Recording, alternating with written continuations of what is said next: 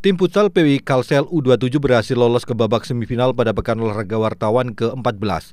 Tim futsal PWI Kalsel U27 sukses melenggang ke empat besar usai menaklukkan tim futsal Surakarta dengan skor telak 5-0. Bermain di Borneo Indoor Futsal Banjarmasin, tim futsal PWI Kalsel yang menggunakan kostum putih-putih terlihat menguasai jalannya pertandingan sejak menit awal, hingga sang lawan sulit untuk mengembangkan permainan. Bahkan di babak kedua, tim Kalsel juga tidak menurunkan tensi permainan hingga akhirnya berhasil meraih kemenangan. Di babak semifinal, tim Kalsel akan ditantang tim futsal PW Kaltim dan diharapkan tim Kalsel mampu kembali meraih kemenangan untuk mengincar target medali emas. Ade Anwar, Duta TV, Banjarmasin.